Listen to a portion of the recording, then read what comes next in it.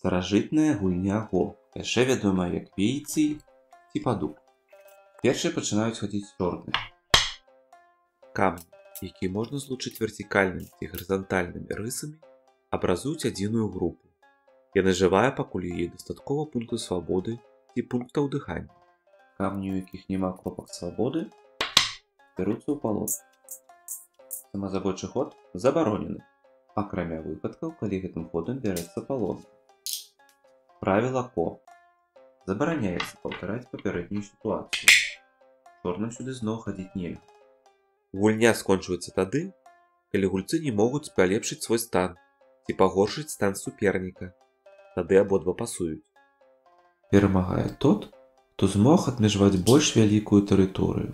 У дадзеным выпадку гэта белы. Го гэта гульня з лёгкімі правіламі, але глыбокай стратэгіяй. Пабачымся!